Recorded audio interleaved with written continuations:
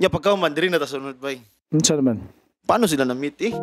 Ah, sa Siyempre, love story na dayon? After, paano nila na-discover ang music? Dito kita niya sa... Actually, na, na siya connection. Oh. Na siya connection.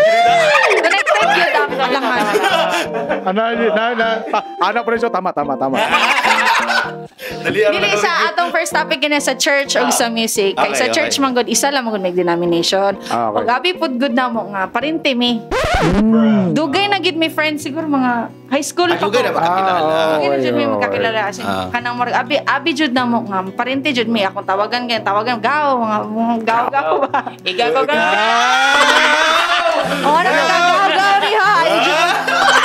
Ayaw, anak, go.